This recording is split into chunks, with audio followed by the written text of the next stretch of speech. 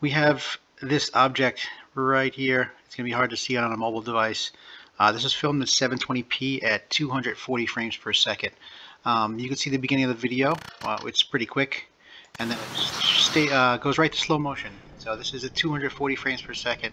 This object comes out from over the hill, turns around at a super high velocity, and then uh, right at the end changes direction, heads up a little bit, uh, right back.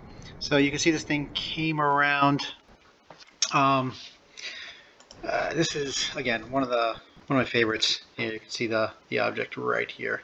Um, it starts coming out towards, comes out over the ocean.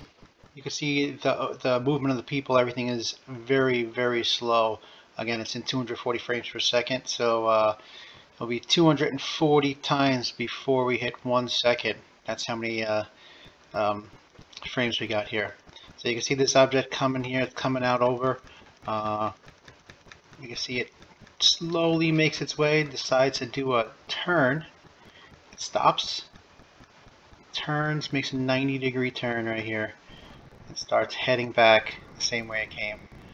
And again, this is this is super slow motion. Um, again, nobody saw this until the reviewed the video after um, their vacation was over. So again, like just like uh, most sightings, you really most people don't see it until the end. Uh, most of these things are moving too fast. A lot of people have these on video in super slow motion. Um, again, uh, it's just another great example of some of the videos we have here at uh, Beyond UFOs. Uh, we guys, we uh, hope you stay tuned for some more stuff we have coming up. We have a lot of uh, very amazing videos coming up here. No, uh, no BS here. No um, fake videos, no computer animation videos. We have real videos from real people um, showing off their videos. I'm going to go right here and just do a quick uh, zoom here of this object um, as best as we can. We're going to go up here and see this thing. Uh, see this thing. It's really hard to see. It's very far away. You can see this is reverse. I'm going to go forward speed.